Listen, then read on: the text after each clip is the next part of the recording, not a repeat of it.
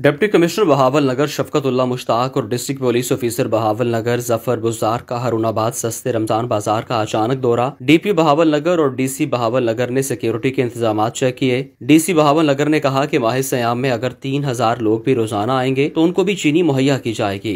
रमज़ान सस्ते बाज़ार में आटा, चीनी, सब्जियों समेत दीगर तमाम अशाए खोरनोश बाज़ार की नस्बत सस्ती मिलेंगी। एस ओ पी आरोप सख्ती ऐसी अमल दरामद कराया जाएगा। डी सी बहावल नगर की असिस्टेंट कमिश्नर को हदायत।